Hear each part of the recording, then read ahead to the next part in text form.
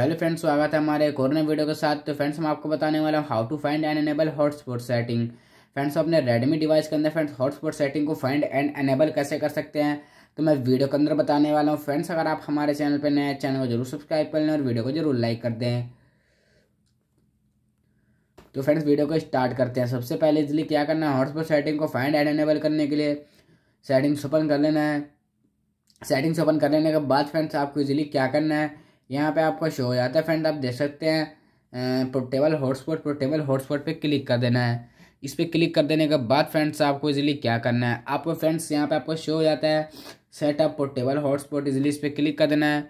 इस पर क्लिक करने के बाद फ्रेंड इजीली आप देख सकते हैं, आपके यहाँ पे बैक आना है। बैक आते हैं फ्रेंड इजीली आप यहाँ से अपना जो पोर्टेबल है फिर हॉटस्पॉट है, यहाँ से एनेबल कर सकते हो। देख सकते हैं, यहाँ पे ऐसे अपना हॉटस्पॉट को फाइन एनेबल कर सकते हैं। वीडियो अच्छा लगा है वीडियो ज़रूर लाइक कर दें, चैनल को ज़रूर सब्सक्राइब कर दें। फ्रेंड्स, मिलते हैं नेक्स्ट वीडियो के साथ, तब तक के लिए गुड बाय।